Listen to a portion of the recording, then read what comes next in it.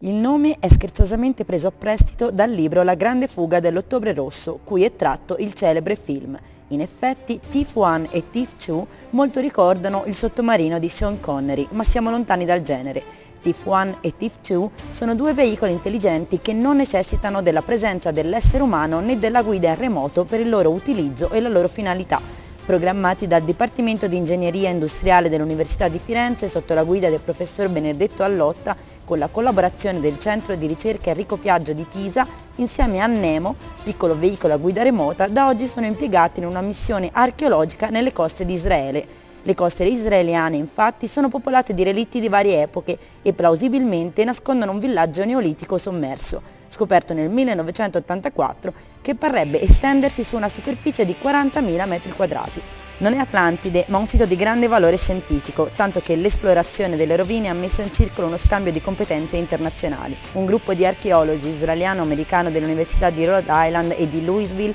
ha chiesto la partecipazione di un team dell'Università di Firenze che questa mattina è partito in missione. Le tecnologie di cui sono dotati i due robot sottomarini permetteranno loro di ottenere immagini georeferenziate che serviranno per una ricostruzione tridimensionale dei siti archeologici israeliani in cui si potrà navigare come in un videogioco. Come spiega il professor Allotta, la missione si svolge sotto il coordinamento dell'autorità competente in Israele per la tutela e la gestione dell'enorme patrimonio archeologico del paese i due tifoni potranno localizzarsi e comunicare grazie a dei modem acustici e anche in assenza di segnale GPS. Questo è molto importante per le applicazioni archeologiche, afferma Allotta, perché permette di associare una data immagine al posto esatto in cui è stata acquisita. Questo tipo di tecnologie robotiche ha segnato una svolta importante nelle attività di perlustrazione dei fondali per capacità di localizzazione e individuazione dei tesori sepolti a costi relativamente contenuti.